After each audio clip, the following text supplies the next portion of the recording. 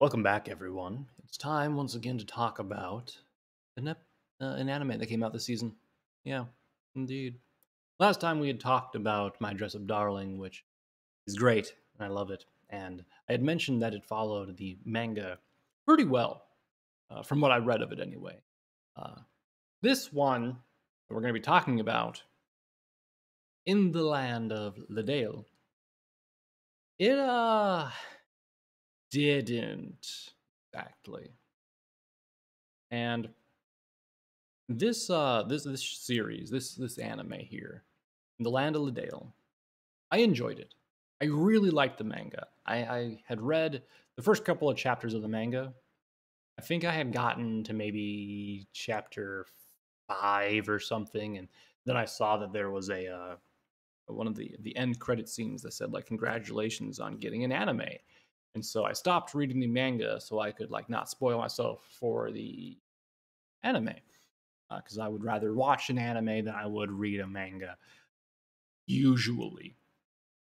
Um, this season for anime, I gotta say, there have been a couple of anime that I read the manga of before I heard it was getting an anime. This is one case, as I've mentioned and kind of bad that I did that because now I'm really judging shows a lot differently than if I would not have read manga before. Because there's so much more information in manga, and the plot is a little bit slower, not as rushed, and they don't leave things out. And uh, yeah, all around, the manga is better. For this show, the manga is better. I actually think it was originally a light novel, and then it got a manga and uh, an anime. I remember correctly. At least because there's only like a few chapters of the manga and the anime goes way past it. So unless it's just not been translated fully, I don't know. Regardless, let me discuss what it's about. So it's about this girl, um Kana. She uh is basically not reincarnated, but she's sent to another world when she dies in the hospital. Um, and she's sent into the game world of Leadale. And Leadale is like a, a fantasy world, and she's basically her character, including all of her stats, armor, um, equipment, items, all that good stuff. So, having been in the hospital, she uh, basically had no life, and all she did was play this game.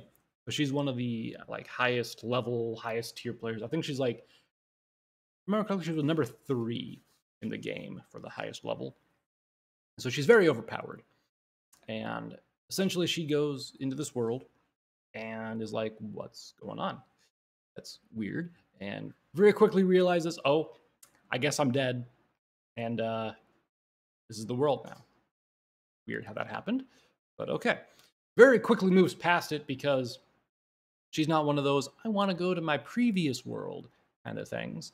Uh, she had a pretty bad life in real life because she was basically bedridden in the hospital, uh, never left, never moved, uh, couldn't really get up and do anything. Pretty sure she never ate food for a while because she had to have a liquid diet and whatnot, and was just like fed IV stuff and all that goodness. Um, so the first time she's there, uh, she eats like bread and soup. She like eats a shit ton of it because it's the first time she's had real food in years basically. Um, and I'm really disappointed in the anime not showing more of like the uh is it expose? Is that the word i'm thinking of? The, the the transition essentially from her being in the hospital to getting to the land of the dale. Because there's like a lot of technical stuff that happens and a lot of like building up who Kana was before she got into the land of the dale. That really makes it more impactful when you uh, realize that oh yeah it's not just some you know random normal girl got transported to the land of dale. No it's uh, a girl who's like literally bedridden and like has not been outside of the hospital in years uh, got sent to this you know fantasy world uh, now being her real life which makes everything a lot more impactful because the reason she wants to adventure now and explore and go around and do things is literally because she could not do that in real life but the anime doesn't really touch on that too much. Like it basically sums up saying that yeah, she was in the hospital, uh, she died, and now she's in Leadale. That's essentially what it does. It doesn't really say that she was in there for a long time and anything like that, yada yada. Already, I'm a little bit upset. Anyway, the story is basically she wanders around and uh, does things, uh, being overpowered as she does so because she's a high level character. And apparently, the world that she gets sent to is uh, like set a couple hundred years after the game. So new kingdoms have changed and adapted and whatnot. And all this stuff. And so she's trying to figure out what's going on exactly, um, as well as, you know, adventuring around and enjoying her life, which is quite good, you know. My, my main gripe, though, is that it, it seems really rushed.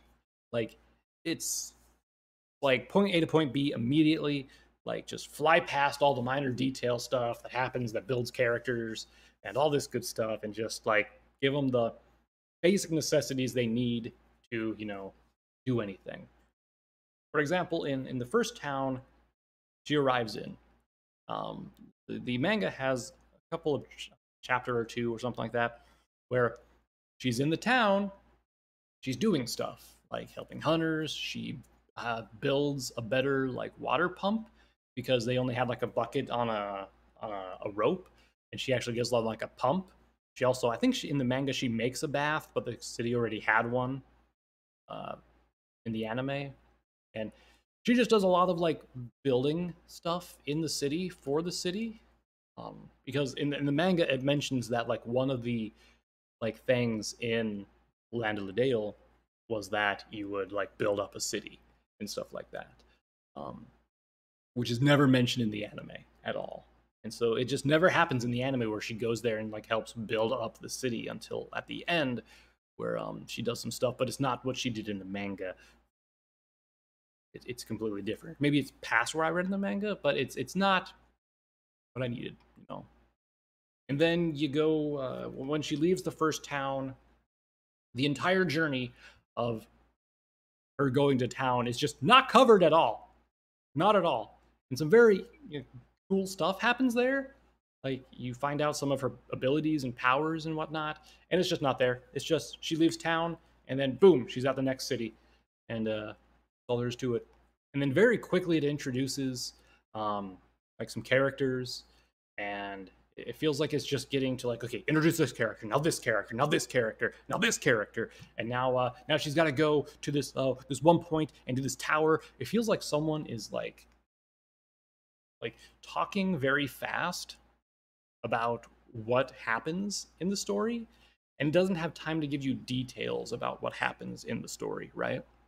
Like it's like if I were to just start summing up like what exactly happens in the Land of Leadale, like okay, so she's in the hospital, then she goes to town in the game, and then she goes to a different city, and then she meets some people, and then uh, after that she takes on a job to do something else, and then she goes there and does that, and then she goes to a different place and a different place, and you know, if I just kind of give you like a bullet point list of what happens in the show or it, what would happen in the story, that's how the anime feels to me. It feels like it is not well thought out um, how they wanted to do it. They try to put too much in too little amount of time, essentially. Um, it definitely would have been one of those shows where I would like to have seen it be a 24 episode anime, or at least get you know two seasons uh, confirmed there. Then again, I don't know why some episodes, some, some anime get 12 episodes and some get 24 confirmed right away. It just doesn't make any goddamn sense. But long story short, I enjoyed it, but I enjoyed it because of the concept and because I read the manga, not because the anime was actually good. Um, if you're going off the anime alone, you're gonna have a bad time. You're gonna feel rushed you're probably not going to think like you know what's going on. Um, yeah, I gotta say. Definitely read the manga uh, or the light novel. Read the light novel since that's what it's based off of, and you'll have more information. If you like pictures, though, read the manga. Uh, you'll be a little bit behind uh, of the anime where it ends, but it'll still be fun. So yeah, uh, it really I, I wanted to have a second season because I want to see what happens next, but also uh, if they're gonna just do a rush job of a second season again, there's there's no point. I really wanted this anime to be good. I really did. But I'm just so disappointed in it. Just just so disappointed. Like I like the story. I, I like the concept of it.